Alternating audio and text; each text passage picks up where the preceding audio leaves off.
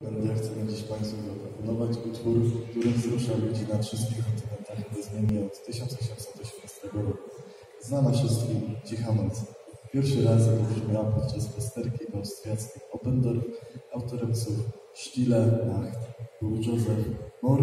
Melodię utworu ułożył Franz Gruber.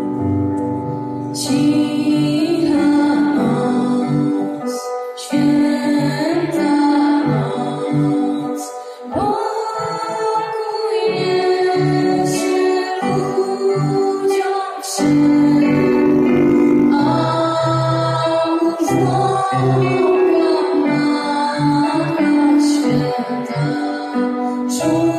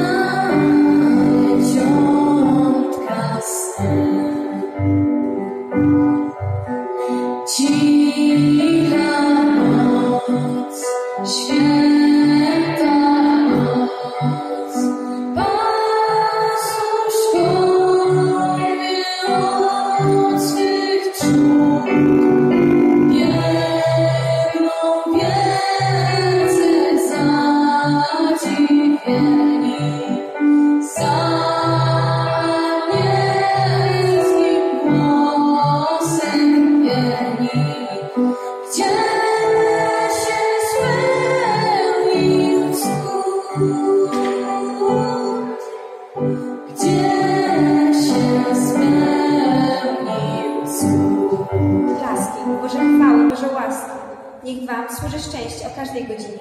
I niech Was dobrego nic w życiu nie minie. Uczniowie, samych szóstek w dzienniku, punktów dodatnich bez liku.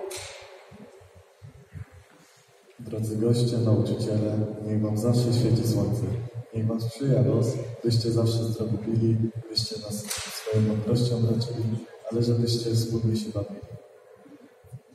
Zamykając te życzenia, chcemy, byście moi mili, długo w zdrowiu, szczęściu żyli i portfeli nie próżnili.